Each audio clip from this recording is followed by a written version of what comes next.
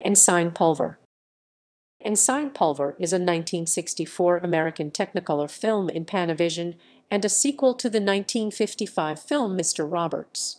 The film stars Robert Walker Jr., Burl Ives, Walter Matthau, and Tommy Sands and features Millie Perkins, Larry Hagman, Kay Medford, Peter Marshall, Jack Nicholson, Richard Gautier, George Lindsey, James Farentino, and James Coco.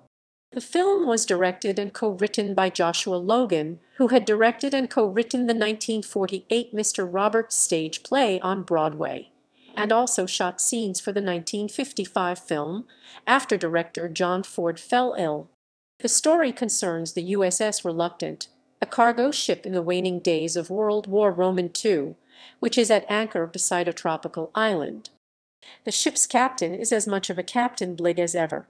Several of the film's events, such as attacking the captain while he is watching a film, and one the sailors trying to obtain compassionate leave to deal with a dying child, are taken from Thomas Heggen's original 1946 novel Mr. Roberts. The characters of Pulver, Doc, and several crewmen return from the first film, but played by different actors. Plot U.S. Navy ensign Frank Pulver Robert Walker Jr. feels unappreciated, as usual, even when he personally aims a sharp object into the hindquarters of the hated Captain Morton Burl Ives. The happy crew cannot imagine that the all-talk, no-action Pulver could be behind it. A poll to guess at the identity of the assassin results in votes for almost everyone except Pulver, which he bitterly resents. Shipmates like Billings Larry Hagman Insigna James Farentino Skouras James Coco, and Dolan Jack Nicholson do not take Pulver seriously while despising the captain, who refuses to grant leave to a seaman named Bruno Tommy Sands to attend his daughter's funeral back home. Doc Walter Matthau is the only one aboard who believes in Pulver's potential at all. At sea for months at a time, Pulver is unable to indulge his greatest interest, women, until a company of nurses land on a nearby atoll. The head nurse Kay Medford is pleased to meet him when Pulver introduces himself as a doctor serving on a destroyer, but young nurse Scotty Millie Perkins suspects the truth, and a smitten Pulver confesses it to her that he's no doctor and nothing more than a junior officer on the worst ship in the Navy. Bruno becomes so deranged.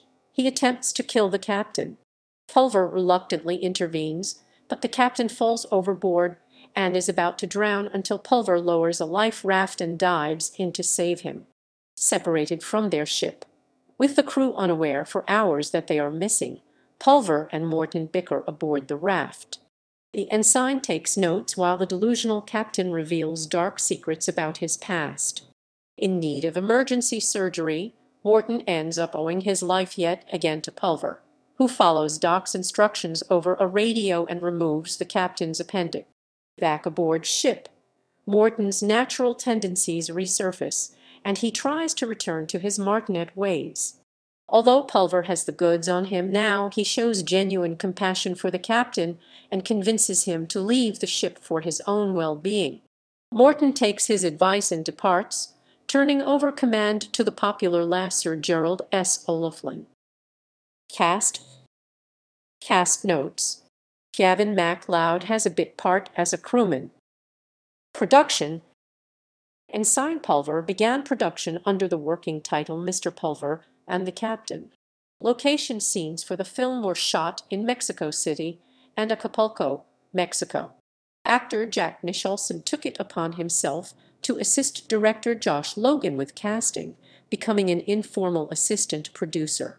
Logan, who hoped that the film would repeat the success of Mr. Roberts, recognized that it had fallen short of that mark, writing in his autobiography, "We thought we had everyone in the picture that anyone could ask for, but for, but for, but for, but for, ask for, but for, they could ask for, but for, ask for, but for, for, ask for."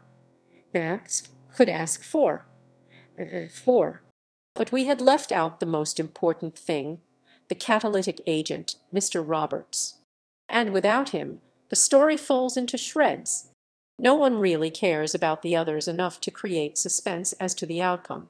In the original film, Jack Lemmon had won an Academy Award for Best Supporting Actor for his portrayal of Ensign Pulver, James Cagney had played the captain, William Powell was Doc, and Henry Fonda portrayed Mr. Roberts. Paperback novelization Concurrent with the release of the film, Dell Publishing issued a paperback novelization of the film by W. H. William Henry Mandel, writing under the pseudonym he used for tie-in work, Henry Williams. Comic book adaptation Dell Movie Classic Ensign Pulver August-October 1964